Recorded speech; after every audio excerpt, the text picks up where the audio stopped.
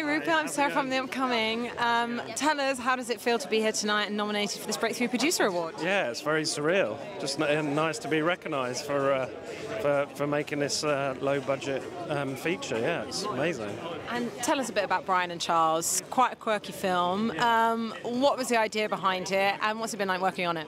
Oh, it's well. I, I've worked with David and Chris for years and years through the live circuit, so that's where those sort of two characters were developed. So, uh, and then we went on and made the short film. But yeah, and then to make a feature film is sort of yeah very surreal that you sort of go and work in this bigger medium. But yeah, it's been amazing, amazing experience, amazing learning curve, and yeah, exciting. Want to do more.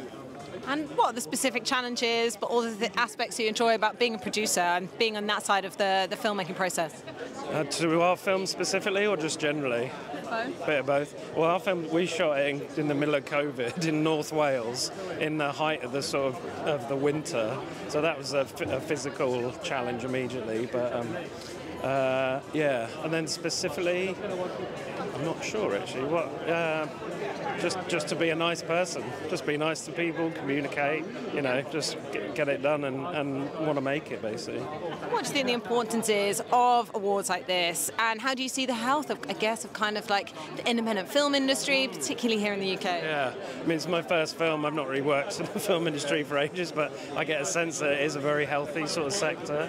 And yeah, to have, a, have an event like this is amazing, sort of, you know, put independent film out there to a sort of a wider audience. And uh, yeah, it's great.